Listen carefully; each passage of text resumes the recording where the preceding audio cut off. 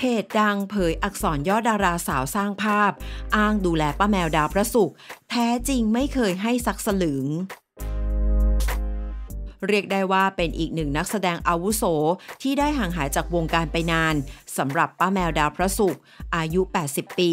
ที่เผยว่าตั้งใจรับละครอยู่เรื่อยๆ ถึงแม้ว่าจะมีปัญหาสุขภาพตรงบริเวณขา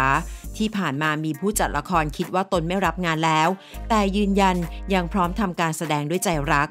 ก่อนหน้านี้ป้าแมวได้เปิดใจเผยอย่างตรงไปตรงมา กับคนที่คอยช่วยเหลือ เวลาไม่สบายหรือมีปัญหา คนที่ป้าแมวจะขอความช่วยเหลือคือคุณอ้ำพัชราภา และคุณบุ๋มปนัดดา พอคุณอ้ำรู้ว่าป้าเข้าโรงพยาบาล ก็จะโทรมาถามเองว่าไม่สบายตรงไหน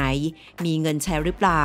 คุณอ้ำเขาก็จะโอนมาให้ก้อนใหญ่เลย แบ่งเป็นค่าโรงพยาบาล ค่ากินต่างๆ แต่ถ้าหากว่าเราดูแลตัวเองได้ เราก็จะไม่รบกวน ก็เกรงใจ เพราะว่าอะไรก็พี่อ้ำแต่มีบางคนเราไม่ออกชื่อไปออกสื่อจะดูแลป้าตลอดชีวิต ซึ่งเขาก็ไม่เคยออกเลยสักบาท ล่าสุดทางด้านเพจอีชอยขยี้ข่าวสอง ได้โพสต์ข้อความเปิดตัวย่อดาราสาวอ้างดูแลป้าแมว โดยเผยว่าตั้งแต่ไม่สบายหนักก็มีแต่อ้ำพัชราภา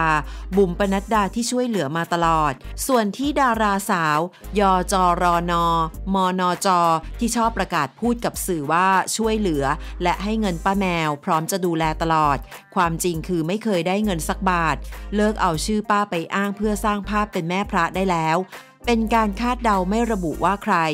ซึ่งทางด้านเต๋าทีวีภูได้โพสต์ข้อความว่า เผยว่ายอจอรอนอมอนอจอ แม่เขียนชื่อเธอ พร้อมระบุแคปชั่นเพิ่มเติมว่า ขึ้นรูปเธอแม่ ท่ามกลางชาวเน็ตเข้ามาแสดงความคิดเห็นเป็นจำนวนมาก